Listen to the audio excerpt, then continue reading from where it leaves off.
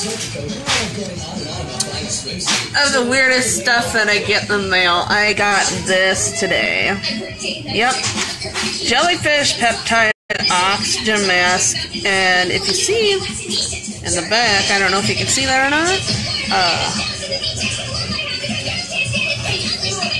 okay, long story short. Apparently there's really jellyfish extract in this mask. And this is what it looks like. Okay, it's from a Japanese company.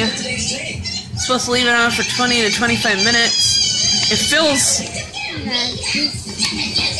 like it feels slimy. it is slimy. It is so slimy. I tell you guys. This is some of the weirdest. I, I get the weirdest things in the mail sometimes. I thought, oh, my face is already clean. I already took a shower, so might as well just slap this mask on and see what it does. Uh, I, I, I really can't tell you how I feel about this mask right now. I am, ugh, God, uh, get kind of in the mouth there. That's just really freaking weird.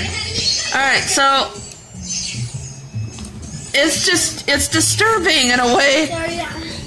I don't know what to think. I mean, this is the Moclinical jellyfish. Yes, jellyfish. Uh, don't jellyfish sting you? I mean, aren't you like? Because I always heard that rumor you're supposed to pee on yourself if they sting you, don't they? I don't know what to think about this right now. this is just some of the weirdest stuff that I try out. So maybe I'll share the results with you after I get this mask off my face. It's really tight right now. I've had it on for about 10 minutes. So check with you guys later, or at least when I get this mask off and to see the results of what it's supposed to do. I don't know, I guess it's supposed to make you look younger or something. So yeah, I just don't know what to think of it right now.